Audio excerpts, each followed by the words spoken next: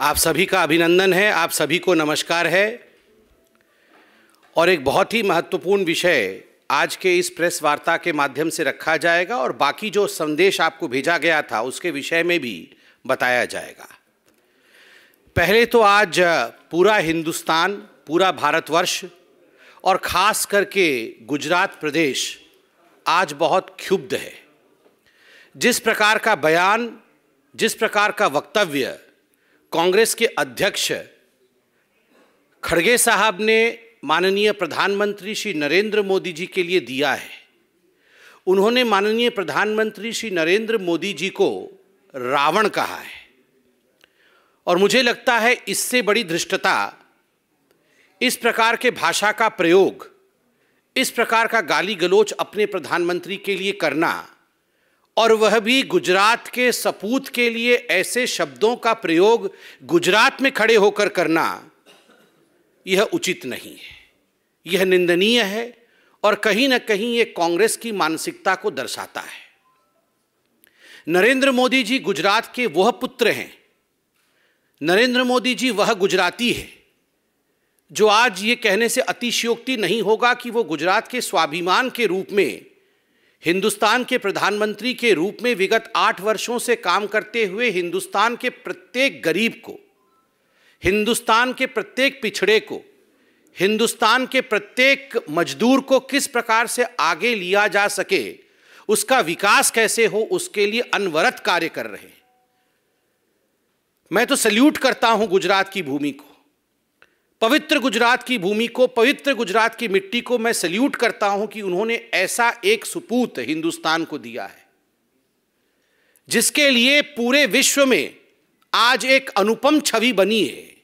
A leader who is considered as a global leader today across the world उसको रावण कहना और उसके लिए इस प्रकार के अपशब्दों का प्रयोग करना, यह केवल और केवल मोदी जी का अपमान है, ऐसा नहीं है। मल्लिकार्जुन खड़गे जी, सोनिया गांधी जी, राहुल जी, आप जान ले, यह प्रत्येक गुजराती का अपमान है। This is an insult which is rubbed in to every Gujarati. यह गुजरात का अपमान है। और खड़गे साहब, सोनिया जी के कहने पर आपने गुजरात में जाके, गुजरात की मिट्टी पर खड़े होकर गुजरात के बेटे के लिए जिस प्रकार के शब्दों का प्रयोग किया है, उससे कांग्रेस को आईना दिखाने का काम गुजरात की जनता करेगी।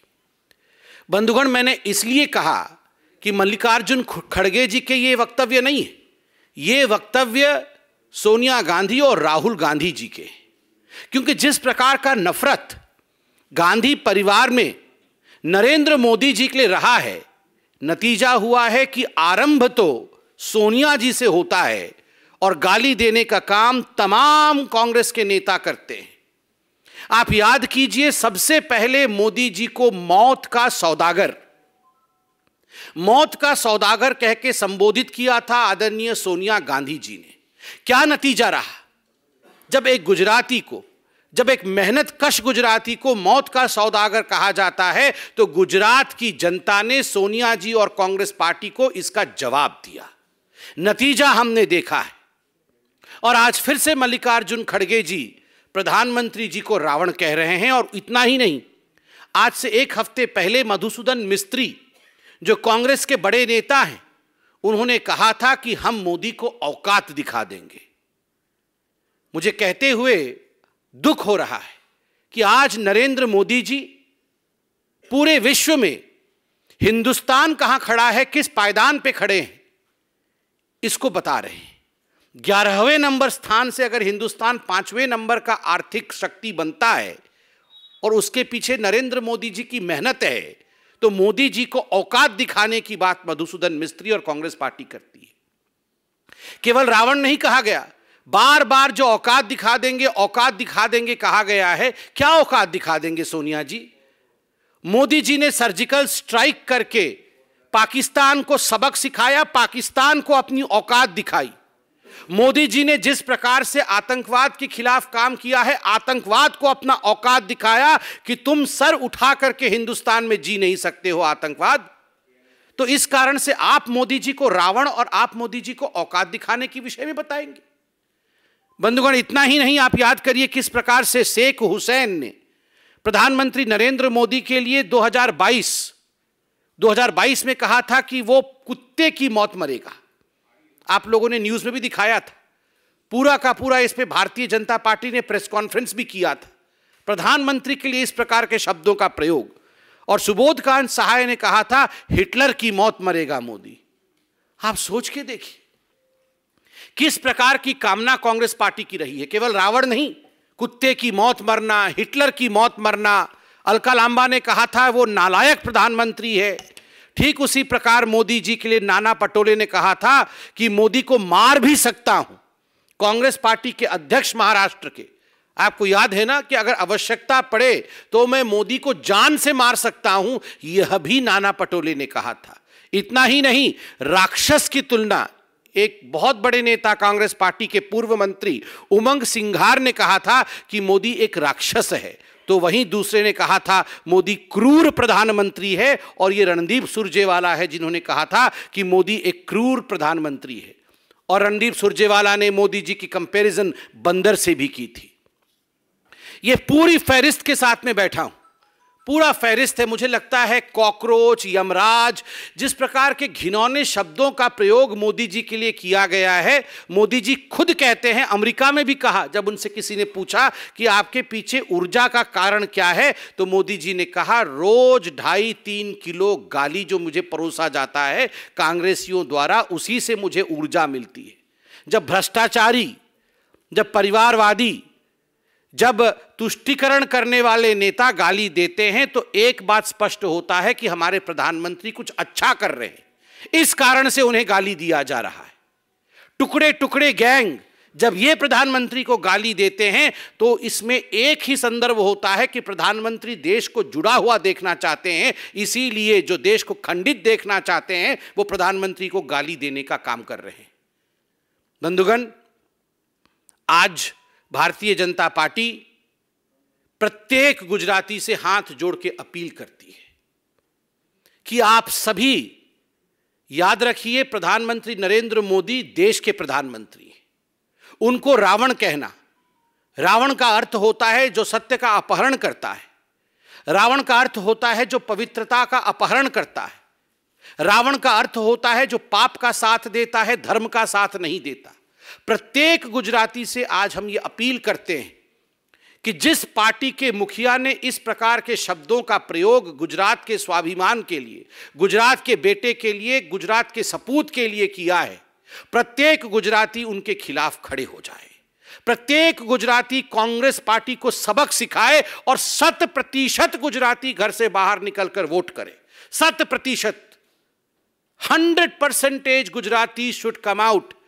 To vote against this kind of mentality of the Congress party. The mentality of the Congress party to denigrate the post of the Prime Minister by calling him Ravan.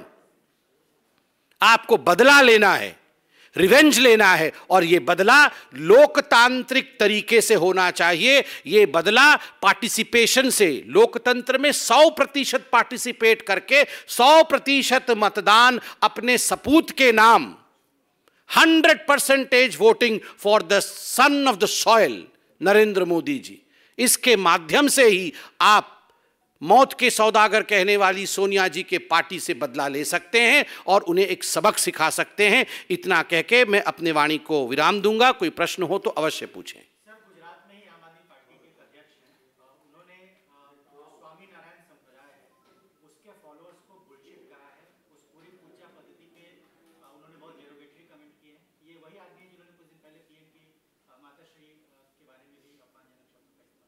मैं पहले तो इस मंच से स्वामी नारायण संप्रदाय को जय श्री नारायण कहूँगा, उनका नमन करूँगा। मैं खुद भी स्वामीनारायण संप्रदाय से जुड़ा हुआ हूँ और खुद भी अक्षरधाम समय समय पर जाकर पूजा अर्चना करता हूँ। ये इतनी बड़ी संस्था है, इतनी बड़ी संगठन है और मानव प्रेम का संगठन है। किस प्रकार से मानव से मानव को जोड़ा जा सके, किस प्रकार से मानवता को आगे बढ़ाया जा सके। अनादिकाल से यह संगठन, यह संस्था धर्म के आधार पर किस प्रकार देश आगे बढ़ सके, सेवा के आधार पर कैसे भारत आगे बढ़ सके, इसकी चिंता करता रहता है। कहीं फ्लड हो, कहीं भूकंप हो, कहीं कोई त्रासदी हो तो हम पहले देखते हैं कि स्वामी जो होते हैं, हमारे स्वामीनाथ संप्रदाय के, वो खड़े रहते हैं। मगर उस अक्षरधाम अपने आप में एक गाथा है।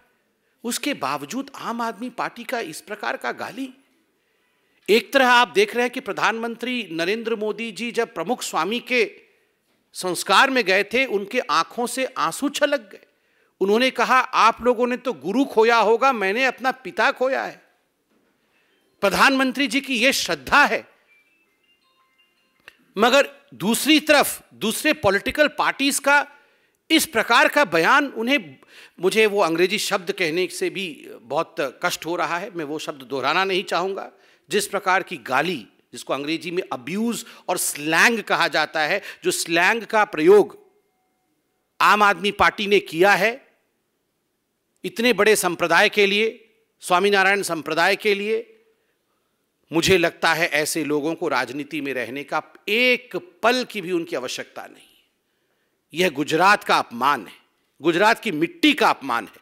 अरविंद केजरीवाल जी को माफ़ी मांगनी चाहिए, हाथ जोड़ करके और बर्खास्त करना चाहिए ऐसे व्यक्ति को जो इतने बड़े संप्रदाय के लिए ऐसे घिनौने शब्द का प्रयोग कर सकता है।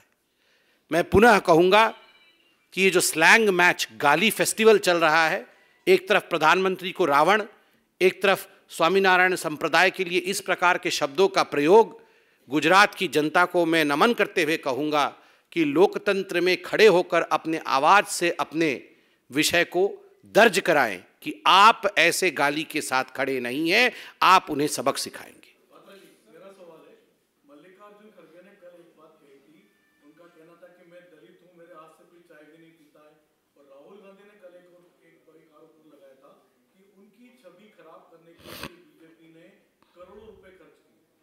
देखिए, मुझे तो बड़ा आश्चर्य लग रहा है कि आदरणीय मल्लिकार्जुन खड़गे एक तरफ़ तो उन्होंने प्रधानमंत्री जी को रावण कहा, उस पर हमने पूरा प्रेस कॉन्फ्रेंस किया है। मगर इस बात का मुझे दुख है और ये जान के मुझे बहुत ही बहुत ही दुख हो रहा है कि मल्लिकार्जुन खड़गे एक सीनियर लीडर कांग्रेस में इतने वर्षों तक वो बहुत अहम पोजीशंस में रहे, पद पर रहे, मगर किसी भी कांग्रेसी ने उनके हाथ से चाय पीने तक का इनकार कर दिया। जब भी वो चाय देते थे राहुल गांधी जी को और सोनिया जी को, सोनिया जी और राहुल जी उनके हाथ से चाय पीना नहीं चाहते थे, ये जान के मैं बहुत हतप्रभ हूँ। बहुत ही ज़्यादा हतप्रभ हूँ कि इस प्रकार की एक, मैं कहूँगा कि इस प्रकार का भेदभाव कांग्रेस पार्टी में होता है। इतने बड़े लीडर और उनके उनके साथ उनके हाथ का चाय नहीं पीना चाहता है कोई कांग्रेस का व्यक्ति। ये बहुत ही घिनौनी बात है और मुझे लगता है आप लोगों से भी कि आप लोग ये सोनिया जी से अवश्य प्रश्न पूछे कि इस प्रकार का व्यवहार इससे पहले सीताराम केसरी जी के साथ किया था सोनिया जी ने। और अब मालूम पड़ रहा है कि केवल सीताराम केसरी नहीं, मल्लिकार्जुन खड़गे के भी हाथ से पानी पीने को सोनिया जी ने इनकार किया है। ये बहुत ही घिनौनी बात है। सोनिया जी को माफ़ी मांगनी चाहिए। राहुल गांधी क्या कह रहे हैं?